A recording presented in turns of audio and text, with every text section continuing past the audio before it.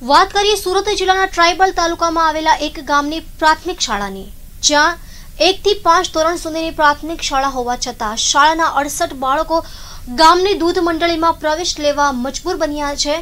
ત્યારે અમારી ઇન ગુજરાત ન્યૂઝની ટીમે ગામની પ્રાથમિક શાળાની મુલાકાત લીધી અને જે દ્રશ્ય જોવા મળ્યા તે જોઈ અમે પણ ચોંકી ગયા હતા. જુઓ અમારો વિશેષ અહેવાલ, સરકારી શાળામાં કેવું શિક્ષણ? આ દ્રશ્ય છે સુરત જિલ્લાના છેવાડે આવેલા માંડવી તાલુકાના ચોરંબા ગામની પ્રાથમિક શાળાનું. આમ તો ચોરંબા ગામની પ્રાથમિક શાળામાં એકથી પાંચ ધોરણ અને અડસઠ વિદ્યાર્થીઓ અભ્યાસ કરે છે. પણ આ ગામડાની પ્રાથમિક શાળામાં આદિવાસી બાળકોને કેવું શિક્ષણ મળે છે જાણવાનો અમે પ્રયાસ કર્યો તો કંઈ આવું જોવા મળ્યું. સરકારી પ્રાથમિક શાળામાં બે ઓરડા છેલ્લા બે માસથી માંડવી તાલુકા શિક્ષણ અધિકારી કમલેશ આલમોરાએ નવા ઓરડા મંજૂર થયા હોવાનું કહી તોડી પાડ્યા હતા. જેને કારણે ધોરણ એકથી પાંચના બાળકો દૂધ મંડળીના મકાનમાં અભ્યાસ કરવા મજબૂર બન્યા છે. અડસઠ બાળકો વચ્ચે માત્ર બે શિક્ષકો હોવાથી બાળકોની સ્થિતિ દયનીય બની ગઈ છે. ગામના સરપંચની વાત માનીએ તો તેઓએ તાલુકા જિલ્લા શિક્ષણ અધિકારી સહિત માંડવી પ્રાંત અધિકારીને ફરિયાદ કરી છે પ્રાથમિક શાળામાં જે ઓરડા તોડી પાડવામાં આવ્યા છે, એ ઓરડા સત્વરે નહીં બનાવાય. તો ગ્રામજનો ગામથી પગપાળા ચાલી માંડવી પ્રાંત કચેરી સુધી રેલી સ્વરૂપે પહોંચી ગાંધી ચિંધ્યા માર્ગે આંદોલન કરવાની ચીમકી આપી છે. તો ગામના આગેવાન કહે છે, ટ્રાઇબલ તાલુકાના ગામડાઓમાં સરકારી શાળામાં આદિવાસી બાળકો સાથે અન્યાય કરવામાં આવી રહ્યો છે. સર્વ, સરકાર સર્વ શિક્ષા અભિયાન હેઠળ સૌ ભણો, સૌ આગળ વધો. પણ સરકારની શિક્ષણ નીતિ વાહિયાત હોવાથી ગામડાના બાળકો તેનો ભોગ બની રહ્યા છે.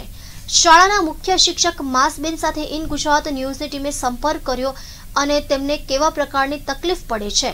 તો તેમણે કહ્યું કે તેમની પ્રાથમિક શાળામાં એકથી પાંચ ધોરણ છે અને અડસઠ જેટલા બાળકો અભ્યાસ કરે છે. પણ હાલમાં શાળામાં બે ઓરડા તોડી પાડવામાં આવ્યા છે.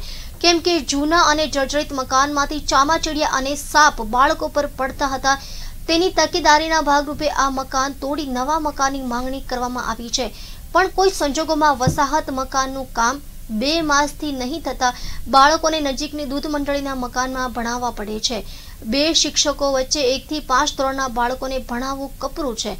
પણ જ્યાં સુધી વધુ શિક્ષકો અને નવા ઓરડા નહીં બને, ત્યાં સુધી બાળકોની હાલત દયનીય રહેવાની છે.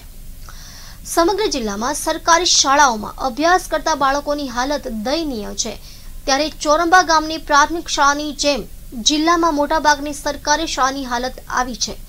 થોડા સમય પહેલા માજી વિરોધ પક્ષના નેતા દર્શન નાયક દ્વારા જિલ્લા પંચાયત સંચાલિત સરકારી શાળાઓના વિદ્યાર્થીની સંખ્યા શાળાની હાલત વિશે ચોંકાવનારો જવાબ આવ્યો હતો. બાળકોની સંખ્યામાં ઘટાડો થઈ રહ્યો છે. જ્યારે અમે માંડવીના ચોરંબા ગામની પ્રાથમિક શાળા મુદ્દે એ જ વિસ્તારના કોંગી ધારાસભ્ય આનંદ ચૌધરીનો સંપર્ક કર્યો તો તેમણે કહ્યું કે રાજ્ય સરકારની શિક્ષણ નીતિ ફેલ ગઈ છે. કેમ કે શહેરની ખાનગી શાળાઓ સામે ગામડાની શાળામાં શિક્ષણનું સ્તર સદંતર નીચે ગયું છે.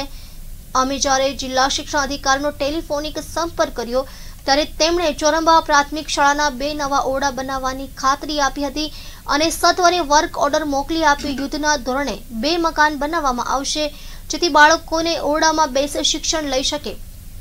પરંતુ હવે આ ખાળે ગયેલું તાલુકા, જિલ્લા અને રાજ્યનો શિક્ષણ વિભાગ સરકારી શાળાના બાળકોની ચિંતા ક્યારે કરશે? એ તો સમય બતાવશે, પણ એક વાત સાચી છે કે રાજ્યમાં શિક્ષણ બિઝનેસ બનીને રહી ગયો છે. કેમ કે રાજ્યમાં નેતાઓ, મંત્રીઓ અને રાજકીય સાથે સંકળાયેલા લોકો ટ્રસ્ટ બનાવી કે પત્નીઓ નામે ખાનગી શાળાઓ ચલાવી રહ્યા છે. ત્યારે હવે રાજ્ય સરકાર શિક્ષણનું ખાનગીકરણ બંધ કરાવી અને સરકારી શાળાઓને હાઈટેક ક્યારે બનાવશે? જોઈએ અમારા ઇન ગુજરાત ન્યૂઝ ચેનલના પ્રતિનિધિ સત્તાર શેખનો વિશેષ રિપોર્ટ. અ, જે અ, સબ જે રીતે ચોરંબા પ્રાથમિક શાળાની જો વાત કરીએ તો જે બાળકોનો જે પ્રાથમિક શાળામાં શિક્ષણ ચાલે એ બે ઓરડા તોડી નાખવામાં આવ્યા છે. બે મહિના જેટલો સમય થયો. આજે બાળકો દૂધ મંડળીમાં ભણી રહ્યા છે. એકથી ત્રણ ધોરણના બાળકો પચાસ જેટલા બાળકો. શું કહેશો? જે છેલ્લા સરકારોમાં, ખાસ કરીને ગુજરાતમાં, ભણે ગુજરાત, ભણશે ગુજરાત અને કોંગ્રેસના જે કાયદાઓ હતા, એનાથી વિપરીત થઈને આખું શિક્ષણનું ખાનગીકરણ કરી અને ખાસ કરીને આદિવાસી વિસ્તારમાં, હમણાં જે નેશનલ સેમ્પલ સર્વે આવ્યો છે, એમાં ડ્રોપ આઉટ પંદર ટકા વધ્યો છે અને શાળાનું શિક્ષણ એ દસમાનું રિઝલ્ટ હોય, બારમાનું રિઝલ્ટ હોય, સરકાર પહેલેથી નક્કી કરી દે છે કે આ વખતે કેટલા ટકા રિઝલ્ટ આપવાનું? પચાસ ટકા સાઠ ટકા. જે ગામડાના વિદ્યાર્થી છે એને ટ્યુશન નથી મળતું, તમે ચોરાંબામાં જોયું તો એને બેસવાની વ્યવસ્થા નથી, પાણીની વ્યવસ્થા નથી, સુવિધા નથી. અને જે શહેરનો જે છોકરો છે, એ બાલવાડીમાં જાય ત્યાંથી ટ્યુશન કરતો હોય. એના મા બાપ ટ્યુશન કરાવે, ઊંચી ફી ભરે, પચાસ હજાર સાઠ હજાર, લાખ રૂપિયા. અને ગામડાનો વિદ્યાર્થી એની, એના મા બાપ મજૂરી કરે અને સ્કૂલમાં મૂકી દે છે. બપોરે એને ખાવાનું મળે છે કે નથી? મધ્યાહન ભોજનની જે યોજના હતી કોંગ્રેસને, એના લીધે છોકરાઓ જાય છે સ્કૂલમાં. પરંતુ આખા વિસ્તારમાં જોઈએ તો શિક્ષણ કથળી ગયું છે.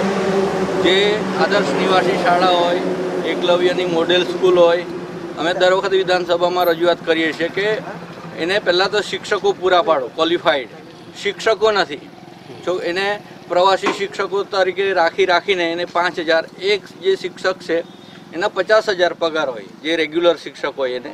અને જે પ્રવાસી શિક્ષક છે તે એને પાંચ હજાર રૂપિયા હોય. એવું દરેક ખાતામાં છે. તો એ કેવી રીતે એને ન્યાય, શિક્ષણને ન્યાય આપશે? એનું ઘરનું ચલાવવાનું, એને અપડાઉન કરવાનું હોય. તો એમાં પણ એને જે પૂરું ધ્યાન એ છોકરાઓ પ્રત્યે આપી શકતો નથી અને આખા ટ્રાઇબલ વિસ્તારમાં શિક્ષણ કથળી રહ્યું છે. એ ગંભીર ચિંતા છે. સરકાર પણ જાગે. અને અમે વારંવાર રજૂઆત કરીને અને આ ગામના સરપંચો હોય શિક્ષણ એસએમસી સમિતિ હોય, એ શિક્ષકો પર દબાણ કરે, સરપંચો પર દબાણ કરે. પરંતુ હમણાં જે એક બાજુનું આપણું ગામ છે લાડકુવા ત્યાં એકથી પાંચ ધોરણમાં એક જ શિક્ષક છે.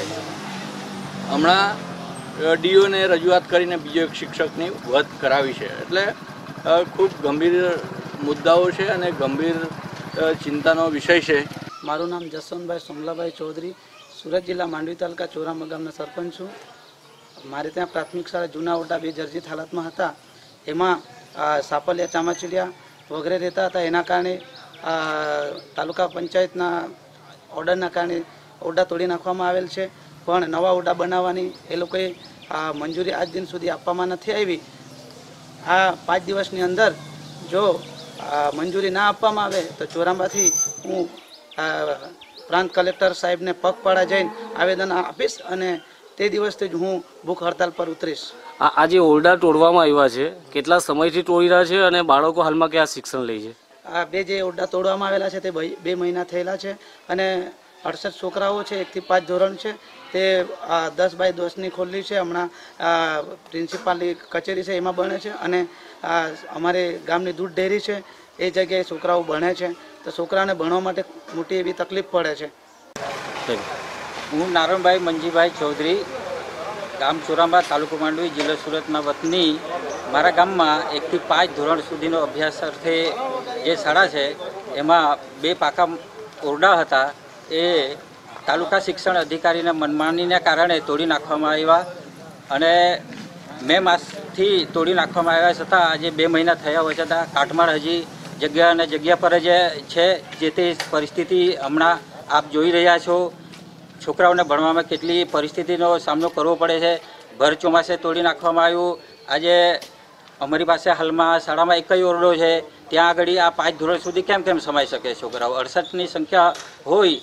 હાલમાં ગામજનોએ ભેગા મળીને એક નિરાકરણ, એક રસ્તો સૂજ્યો કે દૂધ ડેરીનું આપણે મકાન ત્યાં આગળ બેસીને ભણાવીએ તો હાલમાં અમારી પાસે આ તાત્કાલિક ધોરણે આ વ્યવસ્થા છે.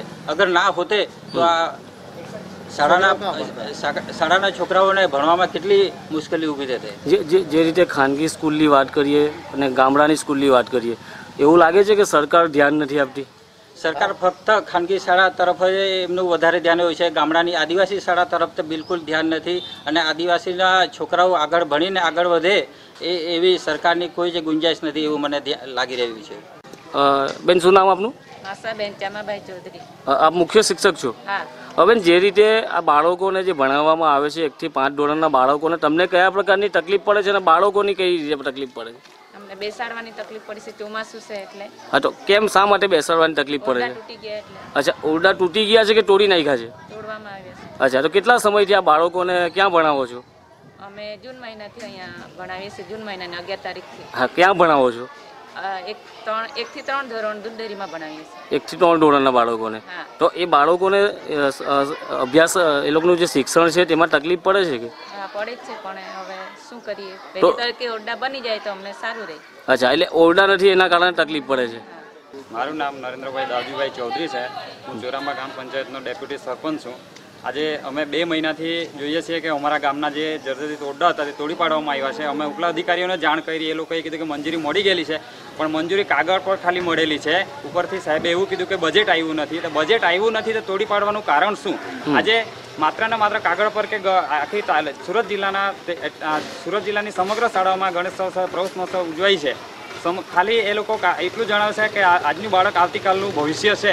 પણ કયા કારણસર ભવિષ્ય છે? આજે અમારે અમારા ચોરાંબા ગામમાં પ્રાથમિક શાળાની અંદર એક દૂધ ડેરીનું મકાન છે. એની અંદર આજે ત્રણ એક બે ને ત્રણ ધોરણના બાળકો એક જ ઓરડામાં બેસે છે. એ લોકોને ટીચર શું ભણાવી શકે?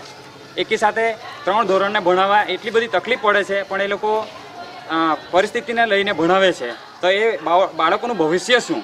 અને આજે અમે જાણ કરી આગળ તો ઉપલા અધિકારી એવું જણાવવામાં આવ્યું કે તમારા ગામ ગામના બે ઓરડા મંજૂર થઈ ગયેલા છે. પણ હાલમાં મંજૂર થયેલા છે, એ લોકોએ જણાવ્યું કે મંજૂર થઈ ગયેલા છે, પણ બજેટ આવતા વાર લાગશે, છ સાત મહિના. તો છ સાત મહિના સુધી અમારા ગામના બાળકોનું ભવિષ્ય શું? શિક્ષકો કઈ રીતે અને ઉપરથી ચોમાસાનું વાતાવરણ છે, ઉપર વરસાદ પડે છે, એ લોકો જણાવ એ લોકોને જણાવતા એ લોકો એવું કીધું કે ઉપરથી સાપ પડતા હતા શિક્ષક બાળકો ઉપર. આજે તો એ લોકોએ તોડી પાડી અને સાપ અંદર ભરાઈ રહે, એ સાપ સાપ માટે ઘર બનાવી દીધું છે. ને એ લોકોએ કંઈ ધ્યાન આપતા નથી.